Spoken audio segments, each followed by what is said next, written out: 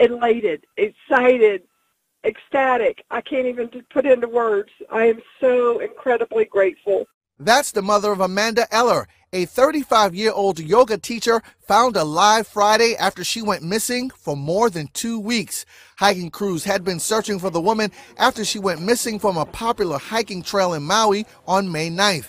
Eller was not only found alive, but in healthy condition, even though local media reported she did appear to suffer a hiking related injury. This is 2.2 miles.